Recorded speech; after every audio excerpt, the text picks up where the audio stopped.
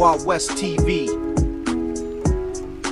mbili na dakika 15 ambapo mnyama Simba mara tu baada ya kuwafunga uh, Jamhuri goli moja kwa sifuri ndipo walipokata tiketi ya kuingia katika hatua hii ya nusu fainali. Lakini pia Singida Fountain Gate wao walimfunga Azam FC goli mbili kwa moja nao wakakata tiketi ya kuingia katika hatua ya nusu fainali kombe hili la Mapinduzi. Kwa hiyo siku ya leo kutakuwa kuna fainali, eh, nusu fainali moja uh, kubwa nzito nzuri na ya kuvutia kutokana tu na historia Uh, ya vilabu hivi viwili kutokana na historia uh, ya timu hizi mbili mara tu baada uh, wakiwa wanakutana katika michuano mbalimbali na mara zote ambazo wamekutana Simba dhidi ya Singida Fountain Gate Singida hajawahi kupata ushindi. Ushindi pekee ambao shai kuambulia ni ushindi wa sare katika uwanja wa Liti pale e, mkoani Singida, lakini mara nyingine zote Simba amekuwa akishinda, na mara ya mwisho wamekutana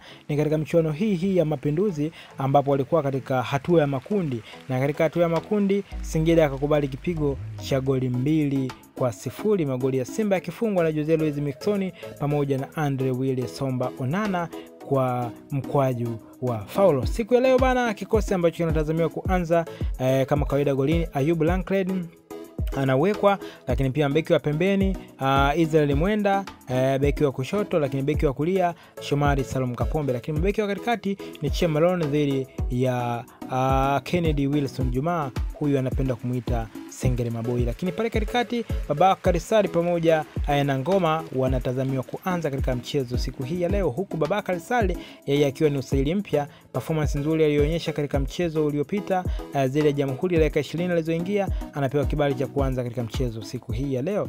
Lakini pia ukiachana baba Karisari pamoja na Ngoma, atakuwepo pia uh, Moses Fili, watu wanamweka um, Sadonti Manzongiza pamoja na Jose Luis Miquissone huku mbele yao akicheza Jan Baleke katika eneo la ushambuliaji namba tisa. Mwisho kabisa kule tutazamia kumwona Jean Baleke bana. Hicho ndicho kikosi ambacho kinatazamiwa kuanza katika mchezo siku hii ya leo, Simba Sports Club dhidi ya Singida Fountain Gate.